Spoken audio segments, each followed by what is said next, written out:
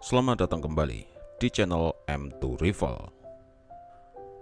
Pada video kali ini, kami akan membahas tentang satu alutsista dari spesies pistol mitraliur hasil rancangan dari Inggris. Pistol mitraliur ini dibuat dalam bayang-bayang ketakutan Inggris karena mereka tidak memiliki cukup senjata untuk menghadapi invasi pasukan Jerman. Sebab ribuan senjata Inggris telah dihancurkan setelah mengalami kekalahan di Dunkirk. Meski nyatanya invasi tersebut tidak pernah terjadi, namun senjata ini terbukti menjadi salah satu senjata yang menorehkan catatan tersendiri dalam sejarah karena beberapa alasan. Namun sebelum melanjutkan video ini, bagi kalian yang belum subscribe ke channel M2 Rival, untuk tekan tombol subscribe dan juga tombol loncengnya, agar kalian tidak ketinggalan video terbaru dari kami. Stand gun adalah bagian dari upaya terakhir untuk mempersenjatai pasukan Inggris. Karena Inggris khawatir suplai pistol mitralium Thompson Amerika tidak mampu mencukupi kebutuhan negaranya.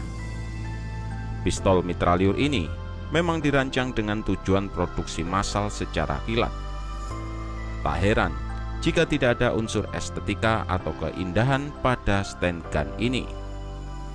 Jika dilihat dengan seksama, senjata ini pun juga seperti dibuat dari potongan-potongan sisa pipa.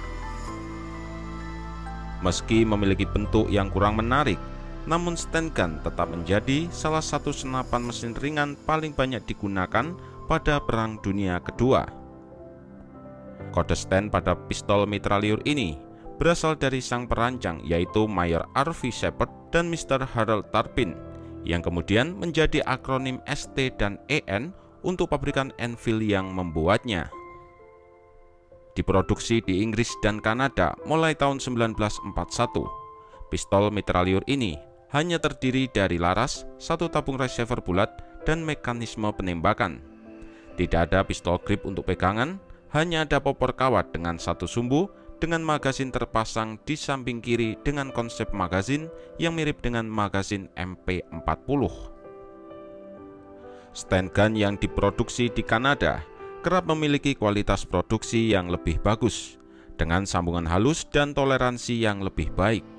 Hanya butuh lima orang dan satu jam untuk membuat satu stand gun dengan biaya sekitar 10 US dollar atau jika ditaksir dengan kurs sekarang senilai sekitar 140 US dollar. Biaya tersebut tentunya jauh lebih murah jika dibandingkan Thomson dengan biaya yang jika dikruskan sekarang setara dengan 2.300 US dollar per pucuknya. Hal inilah yang menjadikan stand sebagai alternatif Inggris pada saat itu. Sebagian besar dari 4 juta pucuk stand yang diproduksi dikirimkan di daratan Eropa. Karena segi kepraktisannya, senjata ini bahkan bisa dibuat dengan mudah oleh bengkel bubut sederhana. Stand gun memiliki berat 7 pon atau 3,6 kg ketika kosong dan 9 pon atau 4 kg saat berisi magasin dan mampu menembak lebih dari 500 putaran per menit. Pistol mitraliur ini menggunakan amunisi parabellum 9 mm yang merupakan kaliber paling umum digunakan dalam militer Eropa. Pilihan peluru ini menjadikan pengguna dari stand tidak kesulitan untuk mendapatkan amunisi, terutama jika mereka membajak gudang depot senjata Jerman. Mekanisme penembakan stand gun juga begitu sederhana, dengan pen pemukul terpasang mati di muka bol. Saat pelatuk ditarik, bol melayang ke depan berkat dorongan pegas. Dorongan peluru masuk ke bilik atau kamar ledak sekaligus meledakannya. Lalu bol tersebut bergerak kembali ke belakang karena dorongan gas dari ledakan peluru. Bila ada peluru yang tidak meledak alias macet, senjata ini cukup dimiringkan sampai peluru yang bermasalah tersebut keluar dari mekanismenya. Dengan bentuk rancangan yang sederhana ini, stand bisa dioperasikan dengan perawatan minimum bahkan tidak perlu diminyaki. Senjata ini memang dirancang dengan menitik beratkan pada faktor cepat, mudah dan murah dalam hal manufaktur, operasional maupun perawatan. Dengan menitik beratkan pada faktor-faktor tersebut, maka senjata ini terpaksa mengorbankan beberapa hal seperti jarak tembak efektif, kenyamanan, serta keamanan. Bahkan pada versi awal, banyak dilaporkan jika kinerja senjata ini sangat buruk.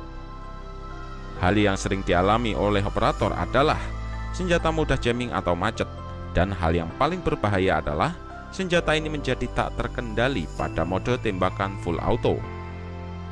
Seiring dengan waktu, Kemudian dilakukanlah beberapa perbaikan untuk menyempurnakannya, mulai dari ditambahkan pistol grip untuk kenyamanan operator dan perbaikan pada mekanisme ruang tembaknya. Beberapa unit Angkatan Darat Inggris terus menggunakan stand gun hingga tahun 1960-an. Selama Perang Dunia Kedua, militer negara lain juga banyak yang mengadopsi pistol mitrailleur ini, termasuk pasukan khusus Amerika saat Perang Vietnam. Sepanjang kisahnya, stand gun mengalami evolusi pada beberapa generasi, dengan generasi terakhir menggabungkan beberapa fitur ergonomik dan keamanan. Namun ironisnya, meskipun stand adalah senjata utama Inggris, khususnya bagi pasukan British Commandos, mereka ternyata lebih menyukai Thompson, baik versi M1928 maupun M1A1, karena lebih handal dan kalibernya lebih mematikan. Bagi kalian yang menyukai video ini, jangan lupa untuk tekan tombol like dan juga share ke media sosial kalian. Terima kasih sudah menonton video ini mulai awal hingga akhir.